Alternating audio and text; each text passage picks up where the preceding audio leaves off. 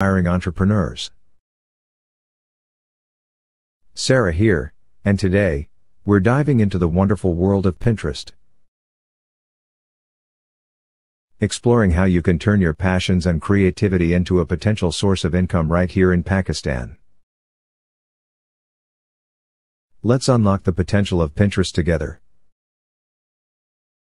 First off, content creation is key. Pinterest is a visual discovery platform. Whether it's DIY crafts, recipes, fashion tips, or any niche you're passionate about.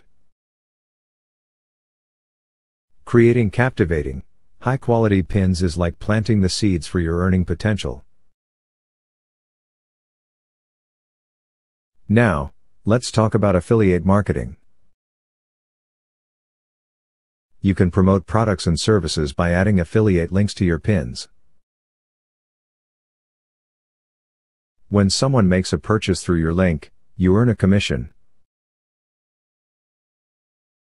It's like sharing recommendations and earning in the process.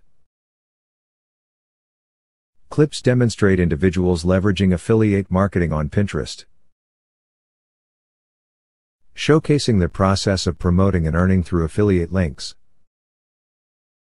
Next, consider selling your products or services. Whether it's handmade crafts, digital products, or offering services, Pinterest can be a fantastic storefront. It's like having your very own display window to showcase what you have to offer. Engagement is vital. Building an engaged audience involves actively interacting with others, collaborating, and joining group boards. Engaging with your community is like nurturing a garden, the more you tend to it, the more it thrives. Additionally, consider creating and selling digital content. Whether it's ebooks, printables, or courses, you can promote and sell these through your Pinterest pins. It's like monetizing your knowledge and creativity. But remember, success on Pinterest requires consistency, quality content, and understanding your audience. Keep analyzing your pin's performance and adapt your strategy based on what resonates.